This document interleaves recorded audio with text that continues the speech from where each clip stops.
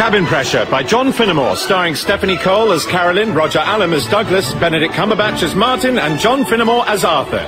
This week, Ipswich.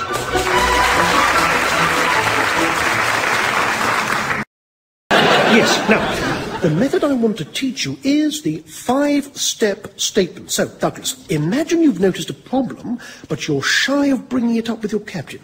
Step one... Hang on. Yes? No, it's just this is going to need really quite a lot of imagination. okay, got it. Okay.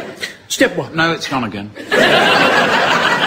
Step one, first you get his attention. Now, depending on how you get on, that might be, excuse me, sir, or, uh, captain, or in an informal flight deck, it might just be, hey, chief. Might it really? Yes.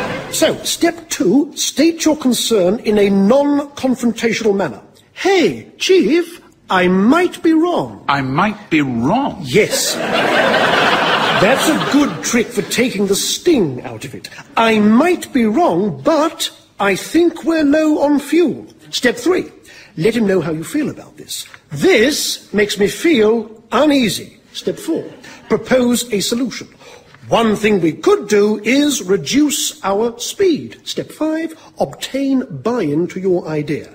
How does that sound to you? Well, frankly, it sounds like the No, no, biggest no, letter. no. That's what you might say. How does that sound to you? Ah. So, do you want to role play that through now, Douglas? I would love to. Hey, Chief, I might be wrong, but I think we're flying into a mountain.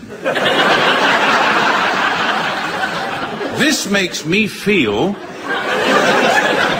scared of the mountain. One thing we could do is pull up and fly over the mountain. How does that sound to Yes. Of course, in, in that situation, you might need to react a little more instinctively.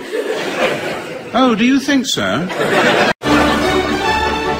That was Cabin Pressure by John Finnemore. It starred Stephanie Cole as Carolyn, Roger Allam as Douglas, Benedict Cumberbatch as Martin, and John Finnemore as Arthur.